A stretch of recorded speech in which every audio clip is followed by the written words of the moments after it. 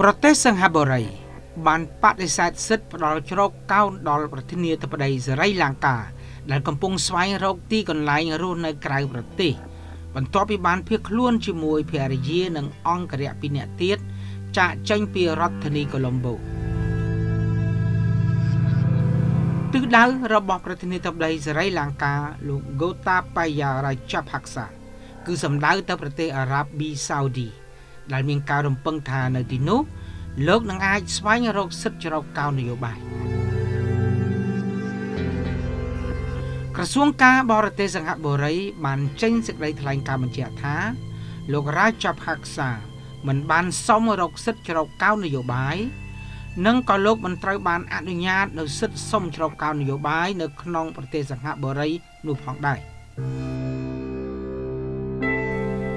ទេសសង្ហបុរីជាធម្មតាគឺជាប្រទេសដែលមិនអនុញ្ញាតនៅការផ្ដល់សិទ្ធិការជ្រកកោននយោបាយនោះឡើយលោករាជាផាក់សា បានធ្វើដំណើរទៅដល់ប្រទេសសង្ហបុរីតាមដំណើរជើងយន្តហោះឯកជនពិសេសរបស់ក្រុមហ៊ុន Saudi Airlines ដោយធ្វើដំណើរពីកោះ Maldives និងបានចុះសម្ចតក្នុងប្រទេសសង្ហបុរីមុនដំណើរទៅដល់របស់លោកនោះទៀត មានពលរដ្ឋជាតិសេរីលង្កាជាច្រើនអ្នកត្រូវគេឃើញថា បាននាំគ្នារងចាំនៅទីនោះ ដែលវត្តមានរបស់ពួកគេទាំងឡាយនោះត្រូវបានពួកគេបញ្ជាក់ថា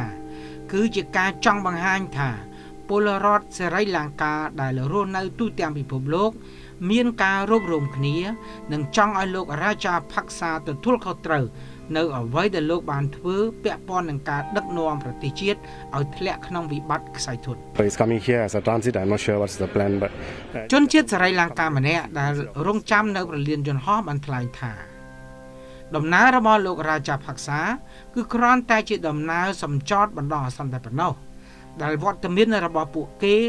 គឺគ្រាន់តែចង់ឃើញនៅរូបលោកតែប៉ុណ្ណោះជាជាងការស្ថិតនៅក្នុងផ្ទះ អ្នករងចាំនោះនិយាយទៀតថាពួកគេក៏មិនបានដឹងច្បាស់លាស់នៅផែនការរបស់លោករាជាផាក់សានោះឡើយនៅជាមួយគ្នានោះផងដែរអាញាធរសង្ហបុរីបានថ្លែងថា ដំណើររបស់លោករាជាផាក់សា គឺជាដំណើរទស្សនកិច្ចខ្លី social visit pass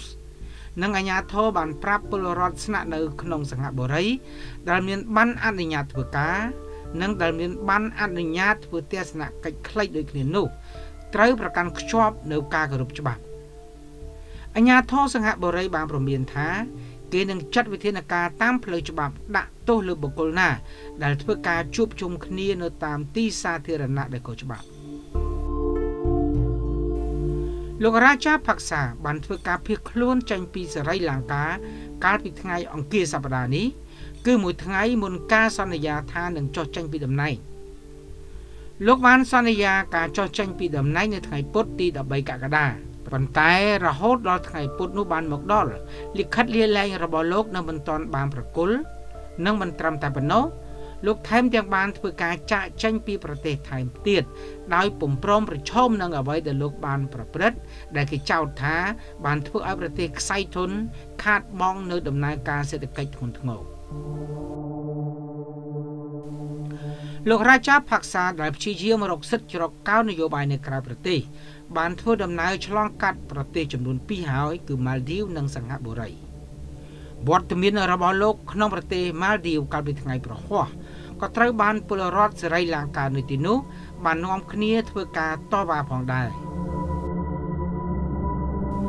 ដំណើររបស់លោករាជាផាក់សានឹងត្រូវបន្តទៅប្រទេសអារ៉ាប៊ីសាអូឌី សេចក្តីរាយការណ៍បានបញ្ជាក់ឲ្យដឹងថាមុនពេលដែលលោកបានទៅដល់ប្រទេសសិង្ហបុរីលិខិតលាលែងចេញពីតំណែងប្រធានាធិបតីដែលគេបានរងចាំយ៉ាងអន្ទះអន្ទែកនៅក្នុងប្រទេសសេរីលង្កានោះទៅបានបញ្ជូនតាមរយៈសារអេឡិចត្រូនិកទៅកាន់ប្រធានសភាសេរីលង្កា ព័ត៌មានជំវិញលិខិតដែលលោករាជាផាក់សាបានលាលែងចេញពីតំណែងបានធ្វើឲ្យក្រុមតបអាជំទាស់នៅក្នុងក្រុងកូឡុំបូមានសេចក្តីរីករាយយ៉ាងខ្លាំងក្រុមអ្នកតវ៉ាត្រូវគេឃើញថាបានរំរែកនៅលើផ្លូវដែលមានការជួបប្រជុំតវ៉ាគ្នានោះ លិខិតលាលែងបានបញ្ជូនទៅប្រធានសភាសេរីលង្កានិងត្រូវបានគេយកទៅពិនិត្យដើម្បីបញ្ជាក់នូវភាពត្រឹមត្រូវស្របច្បាប់ថែមទៀតគណៈការដាក់ប្រទេសក្នុងភាពអាសន្ននៅមិនទាន់បានបញ្ចប់នៅឡើយនោះតាមពិតលិខិតលាលែងរបស់លោករាជាផាក់សានោះគួរតែត្រូវបានទទួលតាំងពីថ្ងៃទី13កក្កដាមកម្លេះប៉ុន្តែលោករាជាផាក់សាដែលខ្លាចនឹងពលរដ្ឋផ្ដន់ទោសដោយការចាប់ខ្លួន បន្ទាប់ពីលោកអស់អភ័យឯកសិទ្ធិនោះបានត្រៀមផ្លូវរត់ចេញពីប្រទេសរួចជាស្រេចស្ថាប័នសភាសេរីលង្កាបានពិនិត្យលើលិខិតលាលែងនោះមុនការប្រកាសនៅអ្នកគ្រប់គ្រងថ្មីបណ្ដោះអាសន្នយោងតាមរដ្ឋធម្មនុញ្ញរបស់សេរីលង្កាដែលគេដឹងរួចជាមុននោះហើយថា នោះគឺលោក Ranil Wickremesinghe ដែលជានាយករដ្ឋមន្ត្រីនឹងឡើងកាន់ជាស្វ័យប្រវត្តិរហូតដល់សភាអាចតែងតាំងអ្នកស្នងតំណែងបានប៉ុន្តែក្រុមបាតកោកំពុងទៀមទាឲ្យនាយករដ្ឋមន្ត្រីរូបនោះចុះចេញពីតំណែងផងដែរវិបត្តិសេដ្ឋកិច្ចដែលប្រទេសសេរីលង្កាកំពុងជួបប្រទះនេះត្រូវគេបារម្ភថានឹងអាចមានប្រទេសដទៃទៀតនឹងរងផលប៉ះពាល់ផងដែរ ដោយសារតែពិភពលោកកំពុងតែរងភាពរង្គោះរង្គើនិងប្រឈមការបែកបាក់គ្នា ដែលមួយផ្នែកធំ គឺដោយសារតែវិបត្តិនៃជំងឺ Covid-19 សង្គ្រាមក្នុងប្រទេសអ៊ុយក្រែនការដាក់ទណ្ឌកម្មសេដ្ឋកិច្ចនិងចំណាត់ការមិនល្អរបស់ផ្ទៃក្នុងរដ្ឋាភិបាលរៀងៗខ្លួនកសែតប្រចាំថ្ងៃភាសាអង់គ្លេសក្នុងប្រទេសឥណ្ឌាឈ្មោះហៅថា Hindustan Times បានផ្សាយថា ប្រទេសដទៃ9ទៀតក៏អាចប្រឈមនឹងវិបត្តិសេដ្ឋកិច្ចដូចជាប្រទេសសេរីលង្កាផងដែរប្រទេសទាំង9ដែលកំពុងប្រឈមនោះរួមមានប្រទេសប៉ាគីស្ថាន ដែលកំពុងតែមានកិច្ចពិភាក្សាបន្តជាមួយនឹងស្ថាប័ន IMF ក្នុងក្តីសង្ឃឹមថានឹងអាចជួយដោះស្រាយនៅទំហំកញ្ចប់ថវិកា6000លានដុល្លារដើម្បីស្រោចស្រង់វិបត្តិសេដ្ឋកិច្ចដែលកំពុងតែជួបវិបត្តិសាច់ប្រាក់ធ្លាក់ចុះ និងវិបត្តិតម្លៃប្រេងឡើងថ្លៃ